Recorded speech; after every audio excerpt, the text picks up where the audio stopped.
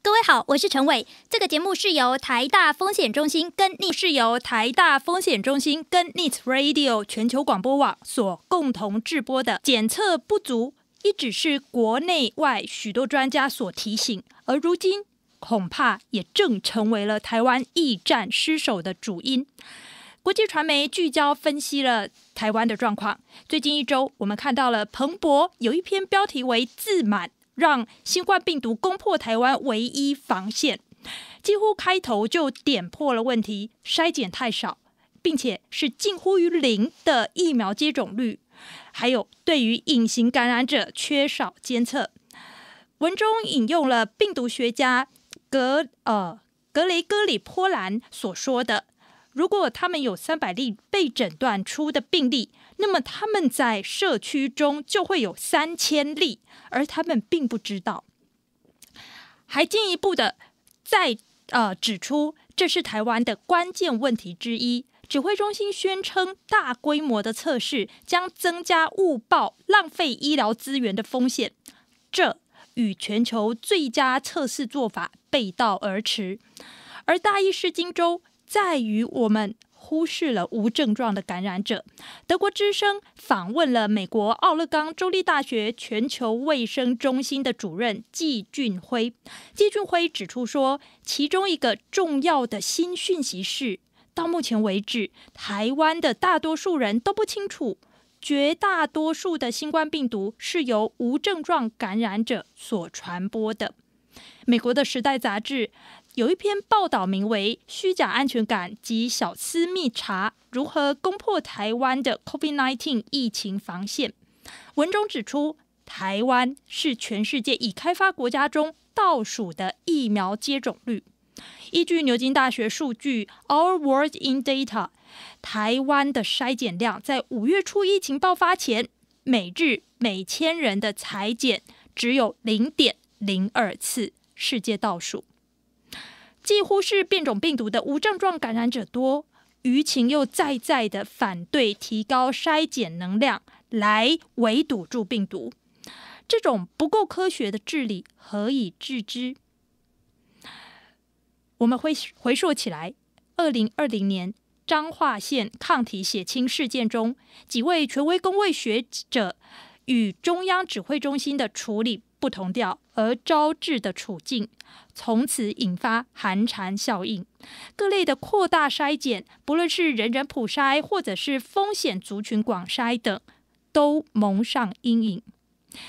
截至到五月十四号，国内病例累计才一千两百九十例。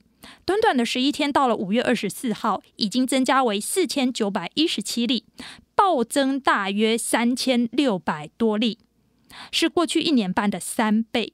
建设性而言，我们此刻到底要如何跑在病毒传播前？为各位访问的是台湾大学公卫学系暨环境与职业健康科学研究所的教授、前台大公卫学院的院长詹长全老师。詹老师您好。嗯，陈伟你好。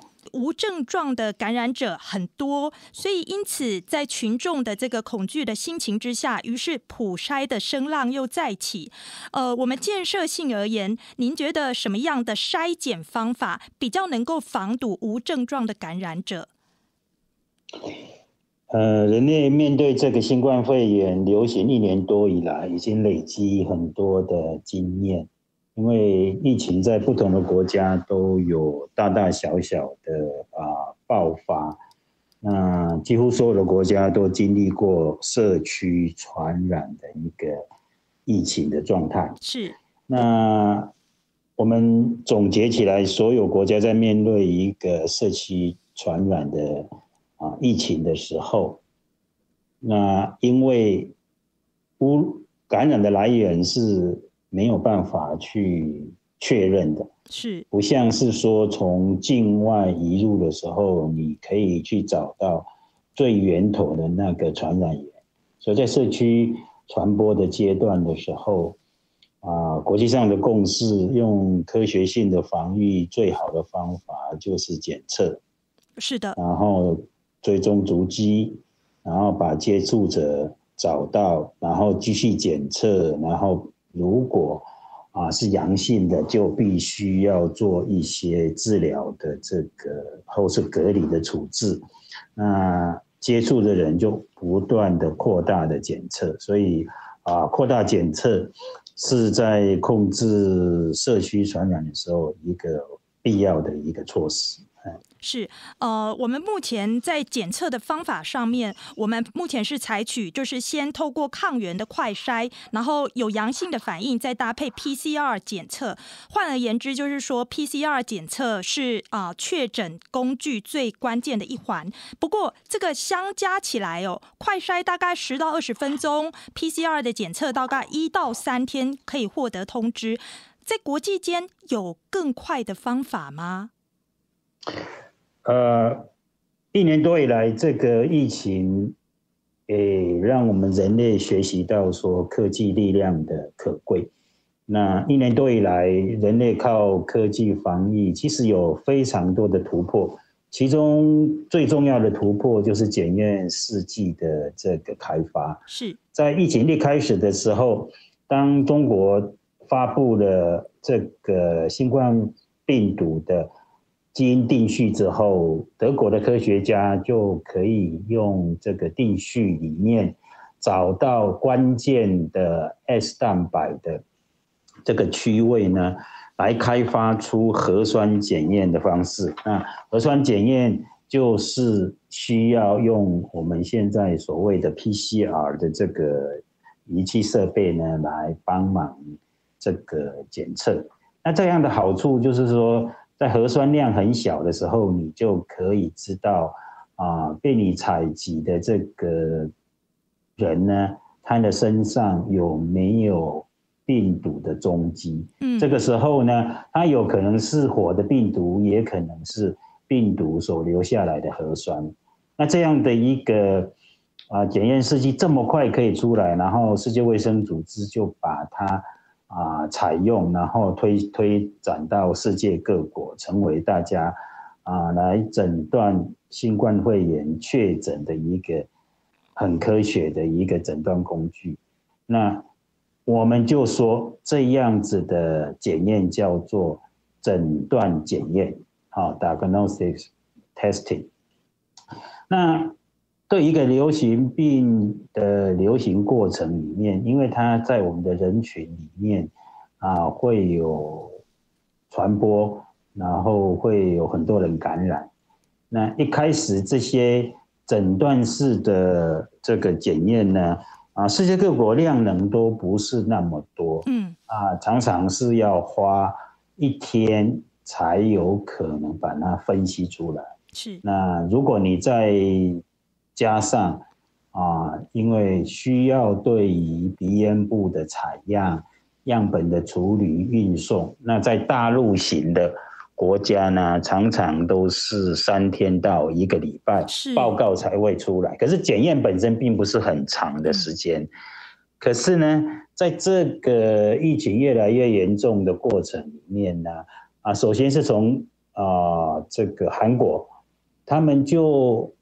呃，精益求精的把很多的检验的流程变得很流畅。是那这样子的呃做法呢，又被呃欧陆的一些国家，美国所采用以后，即使是所谓的核酸检验呢，我们也可以压缩到三到六个小时就可以得到这个啊答案。哦。那甚至在某些的机场里面呢，你从采样到得到答案呢，常常是小于三个小时的。所以啊，大家误解了这个快速筛检的这个名词，也就即使是核酸，在我们配备适当的简体的采集跟仪器的分析，我们可以说的很短。好，在这个同时里面呢。啊，当大家有这个核酸检验的这个诊断式的筛检以后，对于传统的呃病毒的流行病的这个调查里面，公共卫生最常用的工具就是大量筛检的啊检验，叫做 mass mass screening 的那个 testing。那这个时候呢，最有效的方式就常常是用所谓抗原检测试剂。是。那抗原检测试剂的重要性，就是说，当一个人被感染之后，然后你如果用抗原可以检测出来，那代表这个人当下他的身上的病毒量其实是蛮高的。是。那的意思就是说，这个人他那个时候传染给别人的传染性就很高。所以，呃，很多的国家就投入了很多的心血去发展所谓这个抗原检测试剂，也就是现在国内比较常听到的，就是快筛试剂。是。那这个也是在一年多以来有神速的这个发展。那一开始我们的抗原检测数据的这个敏感度。跟专一度都不够，也就是说，它可能要在病毒量非常大才可以检测出来。后来就是越敏感，就是越降低，呃，病毒量就可以检测出来。第二个专一度就是说，啊，常常会有其他的感染来干扰到我们的检测结果。那一样，他们也啊修正了很多这个试剂的里面的成分以后呢。变得它会受到其他啊不是新冠病毒感染的这些影响，到检测结果的程度也越越来越小。那这个试剂呢，从一开始也要医师的采样，然后医师定点的这个采集，就像我们现在看到的快筛站一样，到现在已经进步到说啊，可以自己在家里啊。买到这样的检验试剂，打开来自己做，那常常这样的结果都是在十五分钟左右就可以得到你是阳性或是阴性啊。这个是第二种检测，第三种检测是叫做抗体的检测。那一个流行病到一个程度，流行到一个程度之后呢，啊，我们就必须做啊抗体的这个疫情调查。是这个目的就是说，几乎所有的感染症都有人会没有症状，也就是说，感染了并不是每一个人都会产生症状，产生症状也不是每一个人都会变成重症而造成死亡。是那这个怎么办呢？你就是没有办法用前面这两个检测去找到这些人，更何况我们并不是对每一个人都检测过，所以我们的。族群里面无可避免，一定存在一些没有症状，或是其实他有症状，他掩盖起来，他没有去被检测，然后后来他也没有产生重要重大的疾病而死亡，我们就不知道这些人。那这些人就在我们的社会里面，那怎么去知道这个人呢？因为啊，病毒感染过，必然在身体上留下痕迹，那个痕迹就是抗体。所以我们就要做抗体的疫情调查啊，这个就是，呃，去年彰化县卫生局曾经在他们的这个县境里面对一些啊已知这个感染者的亲密的接触者做血清抗体疫情调查的一个啊道理。那世界上各地啊发生过。新冠肺炎这个流行的国家或是很多的城市，都不断的持续的在做这些血清抗体的调查，无非就要知道说有哪些感染的线呢，是用哦核酸或是用抗原没有看到的，我们有没有漏掉那那一些路线？那那个路线就会看到说有一些人际关的关系，有一些。啊，地点的这个呃呃场所呢，是不是产生这些抗体比较多的地方？所以这些做法是我们所谓的呃检测跟疫病之间的一个关系。是这个哈佛大学的荣退教授李敦厚，他其实也是台大工位的校友。他日前就指出说，比起现行我们的病毒抗原的快筛，他认为同样快可是更准确的会是病毒抗体快筛，这是不是跟刚刚张老詹老师您所提到的这个呃抗体血清的这一种试验是相同的一件事情？病毒抗体快筛。一体两面呢，他讲的，如果更精确一点，要像我刚刚讲，你现在做抗原呢是必要的，因为你必须要把还有传染的人往前传染的可能性要赶快把它阻断。所以，像我们就是希望说，台湾现在这个处境，就赶快去找到你阻堵堵住它的这个往下传。那抗体是可以让我们。有一个全面的了解，在我们的社区里面，其实它的热点曾经发生过的热点在哪里？那有可能就是还是现在的热点。我想李教授的意思是这样，嗯，了解。呃，您既然提到了就是热点热区这一件事情，呃，我想要请教您，在工位的概念里面，什么样才可以称作热区？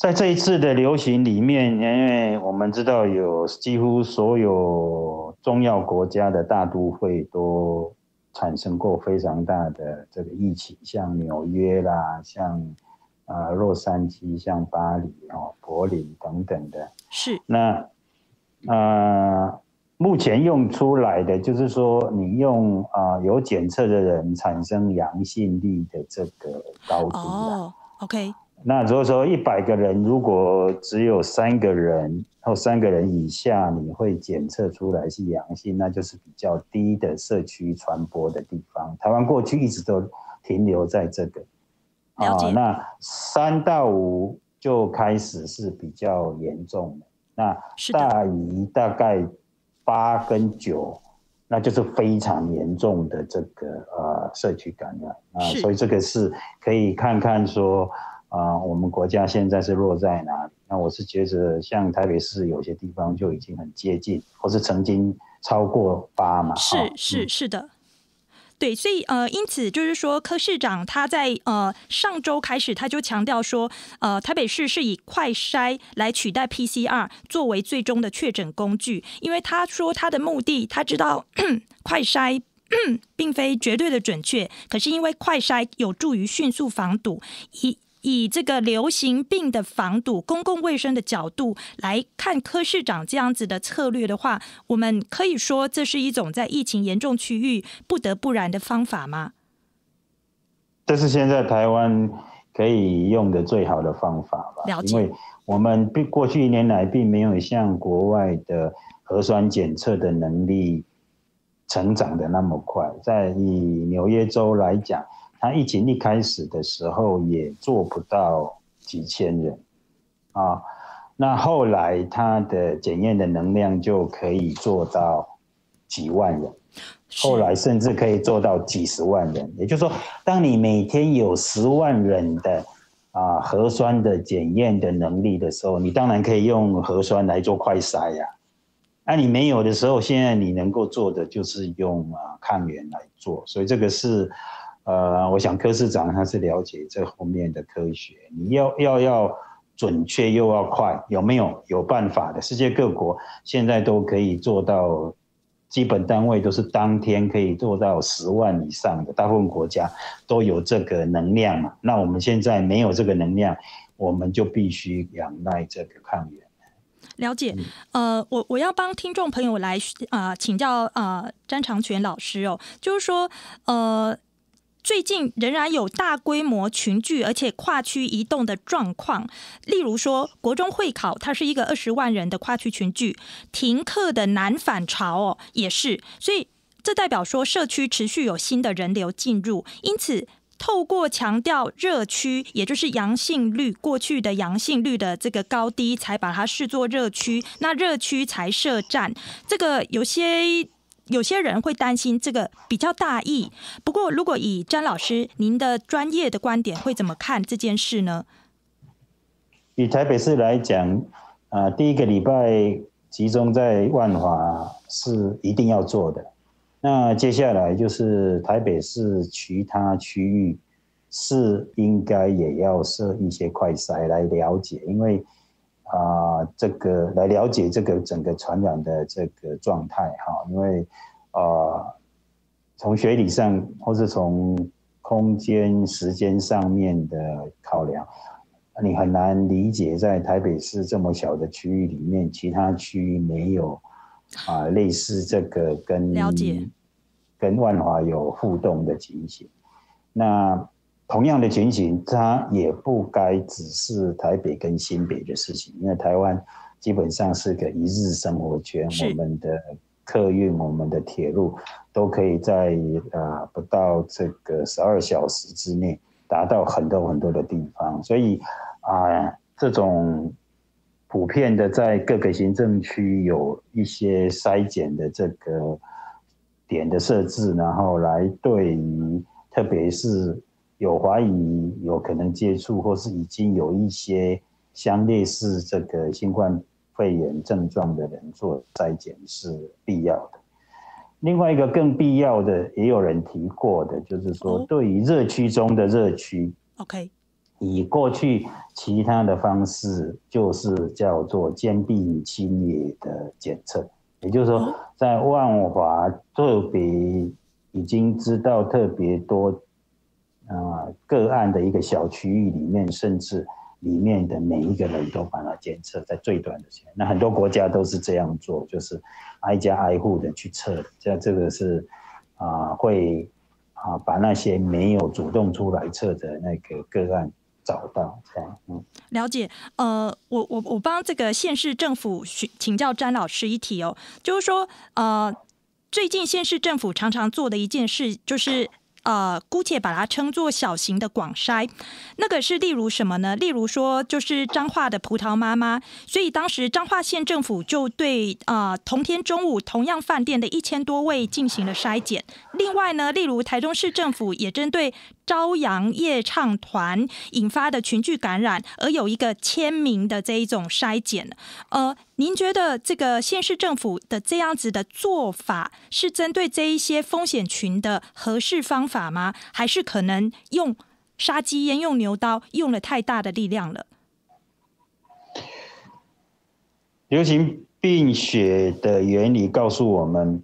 这个传染病的传染是呈几何指数在这个成长。啊，几何是指倍数吗？就是二变四，四变八，八变十六，这样一直往上去的方式。啊，那看你的底数是二还是三，所以那个成长的是这个指数的方式在成长。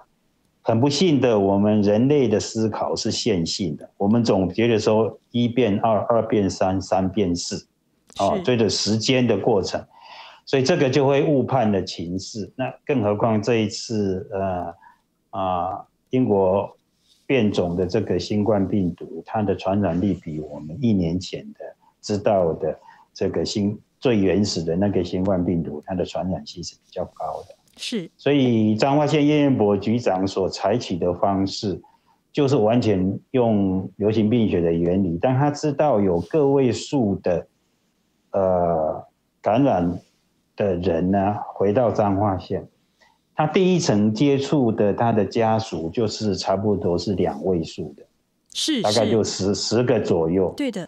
当这些家属再散出去。感染到其他人的时候，可能就是百位数的。譬如说，啊，有个家庭的成员去感染到啊学校的同学，那这个就是百位的。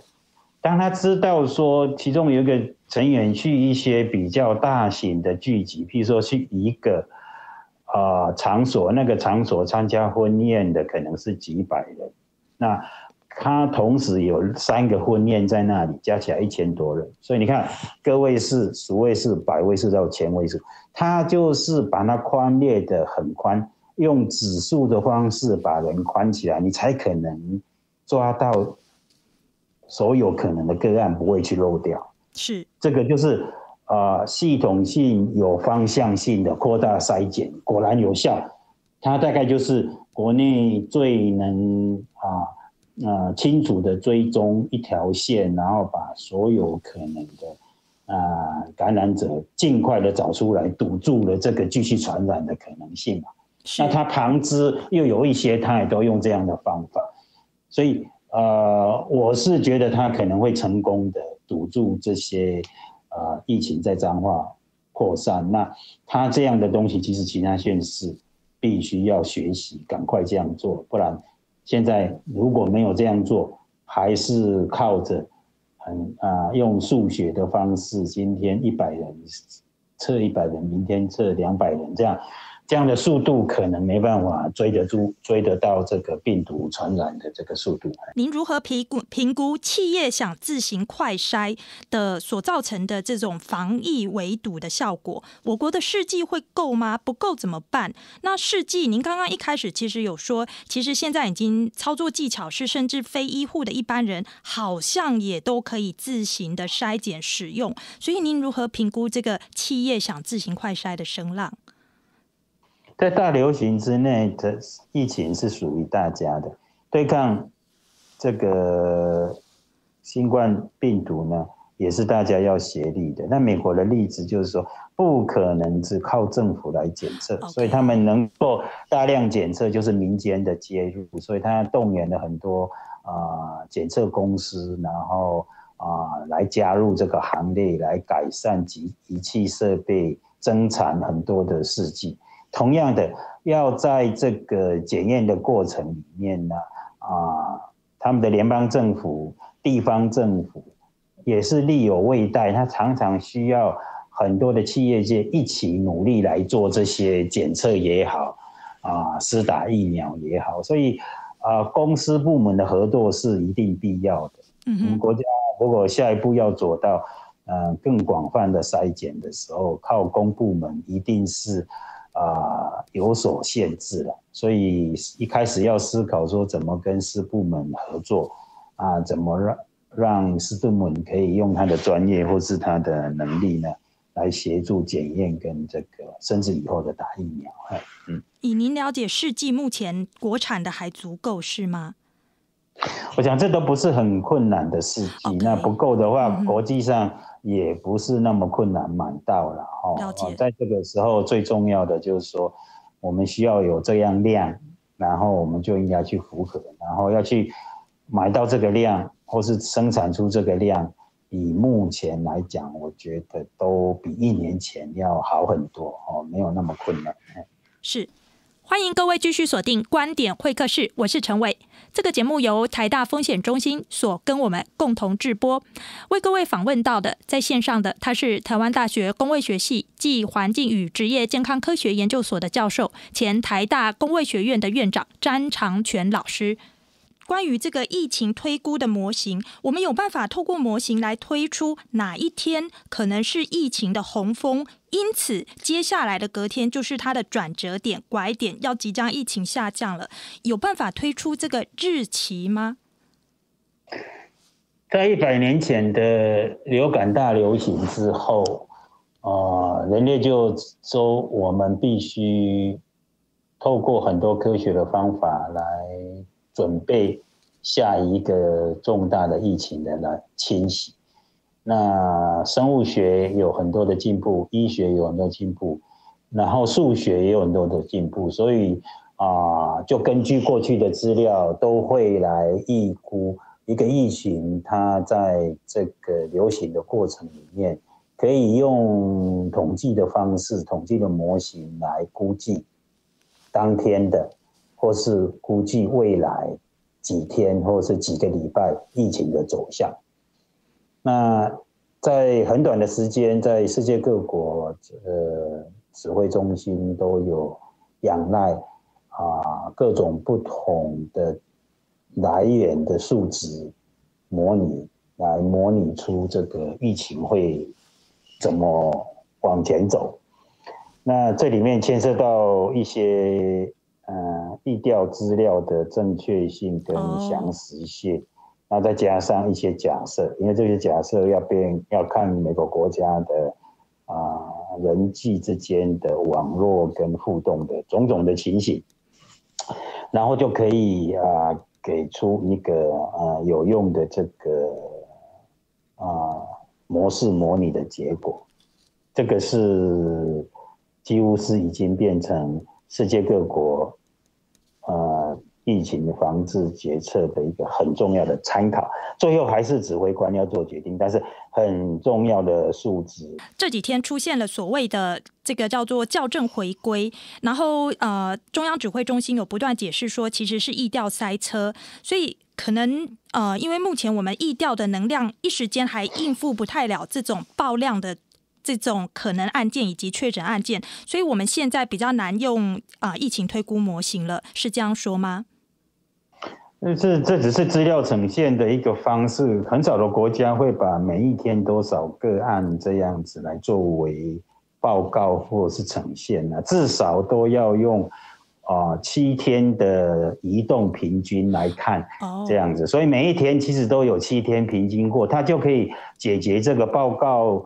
啊，迟缓或是有一些行政上措施所造成的。可是我们一开始都没有这样做，以后民众都每天在等待一个单一的数字。对，那这个是有一点误导的。就是一般我们都会说七天移动平均在今天得到的这个感染力或死亡率，这样你会比较稳定的。可是这只是数字的呈现，后面所需要的，你刚刚提到的或问到的。有没有一些统计模式？那是很复杂。除了这个方法之外，张长全老师也呼应了彰化县卫生局赖彦博局长的说法，那就是说，任何一个个案都会经历发病日、就医日、裁剪日、公布日，而叶局长认为，要用哪一个日来算，才最能真实反映疫情的进度呢？我们一起来听。最近对于这些病例数的一个统计发布哈，有一些呃大家觉得可能不是很清楚的哈，所以我特别说明一下，我们每一个个案从他开始被感染到，哦，他会经历几个过程哈。第一个是他出现症状，所以第一天出现症状的那一天，我们叫做发病日哈，就是症状开始的日期。那你有了症状之后呢，有些人会去看病，会到医疗院所去，也许是诊所，也许是医院。那你可能第一次去看病，第二次去看病，那到看病的时候呢，如果你有告诉你的医生你的接触史或是旅游史，这个医生的警觉性会提高，就会转介你去做裁剪。那如果说你没有告诉医师你的旅游史或者是接触史的话，其实要由医师单纯这个症状来判断你需不需要裁剪，实际上是有困难的哈，因为呃这个新那个 COVID-19 的。病人他的症状跟一般的感冒其实差别没有很大。那当你到医院接受裁剪的时候，裁剪那的日期哈，那一天的日期叫做裁剪日。那裁剪日确诊之后呢，会有经过一些我们防疫体系的资料的处理，最后是由指挥中心来做公布。公布那一天呢，我们叫做公布日。所以刚才那张投影片我们看的都是公布日。可是对来讲，我们要反映一个疫情真正的状况。其实是要从发病日来做统计，越能够早期发现这个个案，早期去做疫情的主角。可是你如果呃使用公布日的话，它就会受到很多行政作业上的一个影响，哦，它没办法反映这个发病日的状况。接下来用一个建设性的方法来共同的替防疫来找出，就是目前还需要更为加强的地方哦。所以我们现在来看的是关于我们的医疗整体的量能。那目前所采取的就是说，呃，轻症者呢会呃。只有重症者才住院，那轻症者可能会透过像是中央说的加强版集中检疫所，或者是台北市政府说的加强版专责防疫旅馆。不过，我想请教詹老师的是说，因为美国的 CDC 它有。公布认同了，其实哎，病毒也会透过空气来传播，不是呃过去大家所谈的飞沫传播而已。所以，我们刚刚所提的这些收治场所，就是像是检疫所啊，或者是防疫旅馆，他们的中央空调有没有可能成为防疫的破口？还是说，其实轻症或无症状者的传染力比较低，所以应该不至于有这层的顾虑？像那个所有的。收容的地方，特别是已经知道检验是阳性个案的收容所，啊，首要之务就是一定要去检视它的通风状态，因为是。啊，现在新冠病毒知道它经由空气的传播呢，是这个疾病呢传染的非常重要的一个途径哈，跟大家比较耳熟能详的，经过接触到一些污染的啊表面，然后所造成的传染可能还更重要，因为这些病毒可以漂浮在我们的空气中还蛮长的一段时间，如果是它的通风不好的话，所以嗯，在。把既有的建筑物改为收容所的时候，希望我们的所有的政府单位要去了解它的啊通风的一个设计的方式。那常常我们的冷气是有进风口，没有出风口。嗯哼。那出风口如果没有的地方，那一定要打开窗户，用自然通风来啊稀释掉室内停滞。的那些空气啊，那这个部分是台湾应该做得到，用大部分我们的窗户都是可以开的，是啊，所以这个是第一步。那更好的方式当然要去改改善空调，问题是空调要改善不是短时间可以的，好，所以我都是建议，即使在开冷气，你还是要开窗户，让这个通风好。那啊，让被呃，隔离的这个民众呢，在它的空间里面有充分的外气的这个流通啊，那会不会透过中央空调互相的污染？这要看每一个空调它的设计，这不能啊随便讲的哈。但是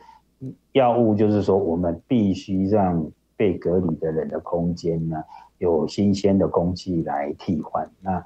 如果目前所征用的是没有足够的新鲜空气来替换的时候，那危险就会比较高。那希望说我们可以赶上。那是特别是医疗人员有必要去啊接触到这照顾者，去了解他的健康状况的那一段时间，那个通风更重要。除了个人保护戴好。口罩或是这个穿好防护衣之外，通风是常常被忽略。是，那接下来请教您关于清洁消毒的层面，因为比起方舱这一类的野战医院，必要的时候床一推开，就只留下了四面墙壁跟地板是能够彻底的清洁消毒的。可是目前所征用的这一些公务宿舍啊，或防御旅馆啊，他们的清洁消毒工作在繁复的家具摆设之下，还有可能到位吗？应该是不会很困难啊。如果大家觉得很很不好的话，要不要在征用的这个所有的家具上面呢？啊，铺上一层这个啊啊，可以比较平滑的这些呃材质的东西，譬如说啊好的塑胶的材质，right？那你就在上面消毒或是把它处理掉。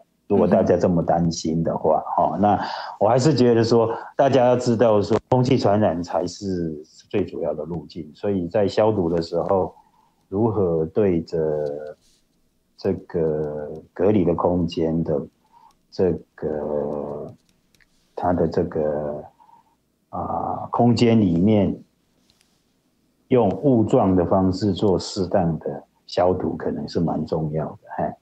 了解，并不是只有是对的表面。在今天的观点会客室当中，我们为各位专访到的是前台大工卫学院的院长詹长全教授。总的来看，二零零三年 SARS 的时候，台湾政府高喊了所谓“三零”，就是零死亡、零社区感染、零境外输出。但两天后就爆出了和平医院封院的事件，如今仿若再现。面对了缺水、缺电、缺疫苗、缺快筛、缺医护、缺病床，满而溢的只剩下病毒。我们除了不放弃围堵这图之外，另一方面，没有任何的战争可以靠防守就打赢。疫战的终局仍需寄出疫苗。